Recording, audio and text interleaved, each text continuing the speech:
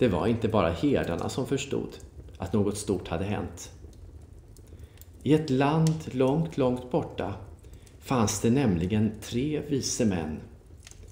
De hette Kasper, Melker och Baltzar. Den här natten fick de se hur en ny stor stjärna kom upp på himlen. Har ni sett? Något stort har hänt, sa Kasper. En kung har fötts, sa Melker. Vi ger oss av dit, sa Baltzar. De följde stjärnan och förstod snart i vilket land barnet fötts.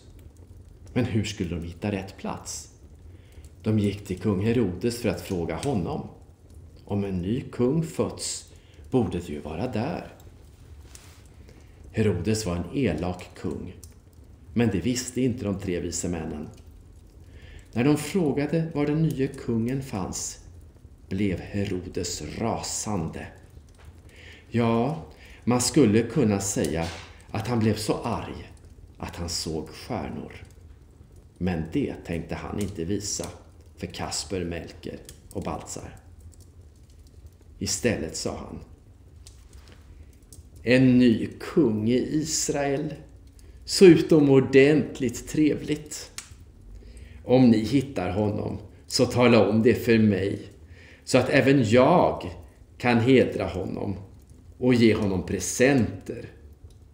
Ja, om ni talar om det för mig så får ni naturligtvis en massa pengar som tack.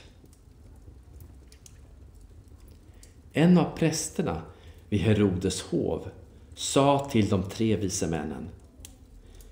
I våra texter står det att det en dag ska födas en kung i Betlehem. Kanske är det där han är född. Ni kan ju börja leta där. De tre vise männen gav sig därför av till Betlehem. Och mycket riktigt, i Betlehem hade människor redan börjat prata om det lilla barnet som fötts i ett stall. De blev lite förvånade att barnet hade fötts just där. De hade väntat sig ett slott. Du måste vara den första kungen någonsin som fötts i en enkel krubba, du måste vara en annorlunda kung, sa Baltzar. De tre vise männen hade med sig fina presenter, gåvor som passade att ge till en kung. Det var guld, rökelse och en fin parfym som heter myrra.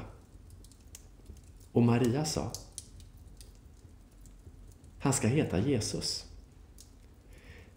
Det är ett namn som betyder Gud räddar för en dag ska han rädda sitt folk från döden. Och de tre vise männen föll ner på knä framför barnet. Jag slutar där. För nu har de tre vise männen kommit fram till barnet i Betlehem. Men i huvudstaden, där finns den elake kung Herodes undrar vad han tänker göra. Det ska du få höra imorgon.